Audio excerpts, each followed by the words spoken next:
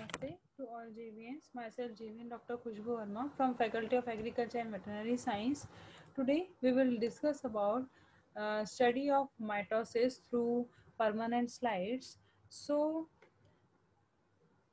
we can analyze uh, mitosis division through permanent slides by using compound microscope or light microscope and uh, basically what is mitosis? So mitosis is a cell division where uh, daughter cells two daughter cells are formed from mother cell and the chromosome number is equal is similar in comparison to mother cell.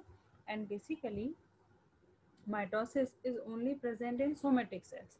It is not present in gamete cell preparation or formation it is present only somatic cells.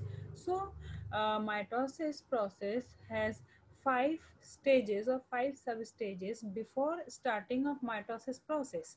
Uh, there is an interphase stage or you can say it is a resting stage where cell prepare enzymes proteins which are required for the progression of mitosis process. So after the completion of interphase, cell undergoes into the mitosis division and it goes first in prophase.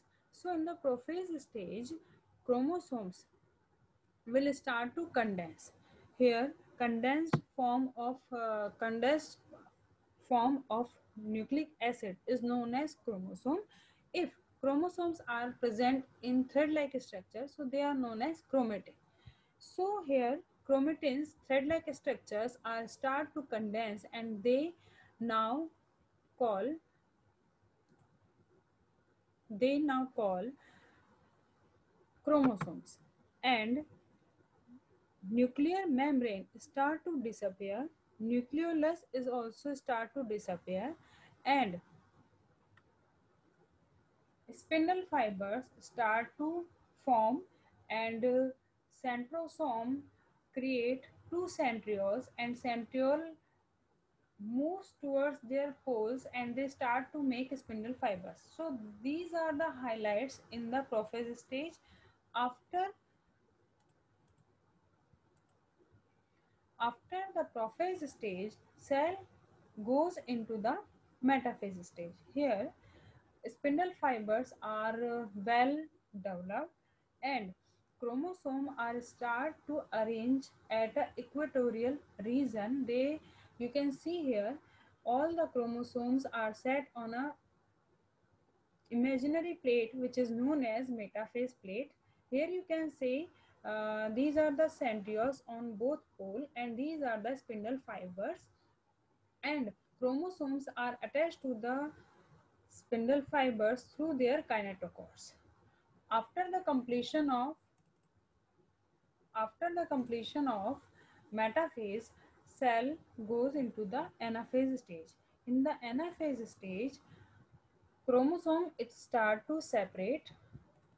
Chromosomes start to separate and uh, basically here one major enzyme start to do work which is known as separase enzyme. Separase enzyme is responsible for the breakage of chromosomes and two sister chromatids now separated from each other and they start to move towards their respective poles. So here you can see if in mother cell four chromosomes are present, so four sister chromatids respectively they move towards their poles. After the completion of anaphase stage, cell undergoes into the telophase stage. Nuclear membrane start to reappear. Nucleolus again start to reappear. And now spindle fibers work has been completed, has been done. So that's why spindle fibers start to disappear in this stage.